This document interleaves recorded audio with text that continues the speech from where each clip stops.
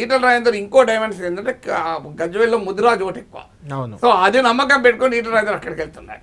అంటే నాగేశ్వర్ గారు ఒకటి అంటే నేను జనరల్గా ఓటు బ్యాంక్ రాజకీయాలు ఖచ్చితంగా ఉన్నాయి కాబట్టి ఒక క్యాస్ట్ ఓటు ఒక దగ్గర ఎక్కువ ఉందని అక్కడికి ఆ క్యాస్ట్ వ్యక్తి పోతే ఆ క్యాస్ట్ వ్యక్తి ఓట్లు వేయడం వల్ల ఆయన గెలి ఓన్లీ ఆ క్యాస్టే వేయడం వల్ల గెలిచే అవకాశాలు ఉంటాయా అసలు? అలా ఉండదు. కానీ ఆ కాస్ట్ ఒక్కటే ఓట్ అయ్యేది కదా. కానీ ఆ కాస్ట్ ఒకటి కన్సాలిడేట్ అవుతుంది. కాస్ట్ ఒక్కటే ఎప్పుడు ఓట్ అయ్యేదు. మ్మ్. కానీ ఆ కాస్ట్ ఓటుతో పాటు ఒక కన్సాలిడేట్ లేని ఎందుకు ముదిరాజుల పెద్ద సభ పరేడ్ గ్రౌండ్స్లో ఈటలు పెట్టారు? ఆ పెడుతుంటారు. నేను ఎందుకంటున్నా అంటే ఆర్ కృష్ణయ్య గారు కూడా బీసీ ఉద్యమాన్ని చాలా పెద్ద ఎత్తున నడిపిన నేత. మందకృష్ణ మాదిగా మీకు తెలుసు ఎంఆర్పిఎస్ ఉద్యమాన్ని అసలు చాలా రోజులుగా నడుపుతున్నారు బలమైన నాయకుడు.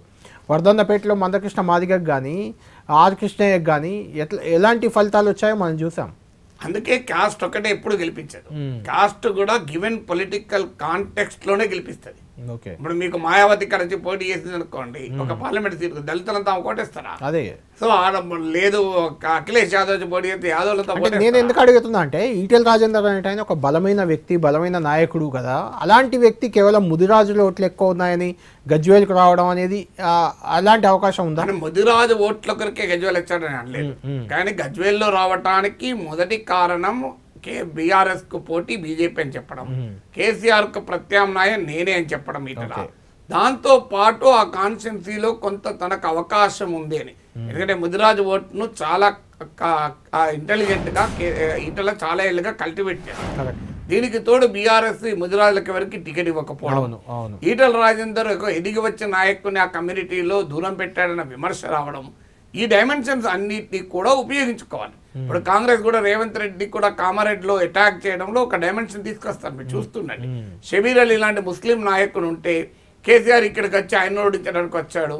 ఆయన ఓడించడానికి వస్తే ఆయనను కాపాడడానికి మేము నిజామాబాద్ రూరల్ పంపించి రేవంత్ రెడ్డి రంగంలో దిగాడు. ఇది ఒక ఫ్యాక్టర్గా కూడా ప్రచారంలో ఉపయోగించుకునే అవకాశం కనపడుతుంది. అంటే ఇది కేవలం ఈ ఒక్క అంశం పైన ఆధారపడి కులమంశంతోనే గెలవాలి అనుకుంటే కేసీఆర్ రెండు సార్లు గెలిచాడు. కేసీఆర్ కులం ఈ తెలంగాణలో ఎంత పర్సెంటేజ్ నెగ్లిజిబుల్ కదా. అందువల్ల తెలంగాణలో కులం అనే యాంగిల్ అనేది సెకండరీ అయితే తప్ప ప్రైమరీ కాదు. కానీ బట్ డెఫినెట్గా దొరుకుతుంది ఇంపార్టెంట్ ఫ్యాక్టర్ అవునన్నా కాదన్నా. అయితే ఆంధ్రలాగా కాస్ట్ కన్సల్టేషన్ మన దగ్గర లేకపోవచ్చు కానీ ఏ నాయకుడైనా ఏ పార్టీ అయినా ఒక్కొక్కరు ఓట్లతో ఎప్పుడు గెలవరు. కానీ అదొక ఓటు బ్యాంక్గా ఉపయోగపడుతుంది.